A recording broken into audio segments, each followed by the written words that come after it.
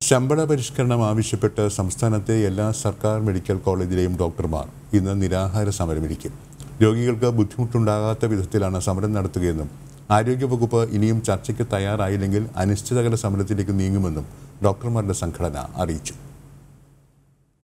രണ്ടായിരത്തി പതിനാറ് മുതലുള്ള ശമ്പള കുടിശ്ശിക ലഭ്യമാക്കണമെന്നാവശ്യപ്പെട്ടാണ് Kerala government medical college teachers അസോസിയേഷന്റെ നേതൃത്വത്തിൽ എല്ലാ ഡോക്ടർമാരും നിരാഹാര സമരം ഇരിക്കുന്നത്.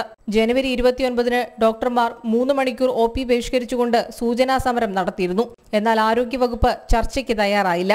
ഇതേ തുടർന്നാണ് സമരം വീണ്ടും ശക്തിപ്പെടുത്താൻ ഡോക്ടർമാർ തീരുമാനിച്ചത്. ശരിക്കും സർക്കാരിന്റെ സർക്കാരിന്റെ പിടിവാശിയാണ് ഇതിന് ഇതിന് കാരണം. ഞങ്ങൾ കോവിഡ് പ്രതിരോധത്തിലും നിപ്പ പ്രതിരോധത്തിലും ഒക്കെ ഏർപ്പെട്ടിരുന്ന കാറ്റഗറി എന്ന് പറയുന്നത് ഞങ്ങളാണ്. ആ ഞങ്ങളോടാണ് ഈ ക്രൂരത കാണിക്കുന്നത്. മറ്റു വിഭാഗങ്ങൾ അപേക്ഷിച്ച് നോക്കുമ്പോൾ. രോഗികളെ വലയ്ക്കാതെയുള്ള സമരമാണ് നടത്തുന്നതെന്ന് ഡോക്ടർമാർ അറിയിച്ചു.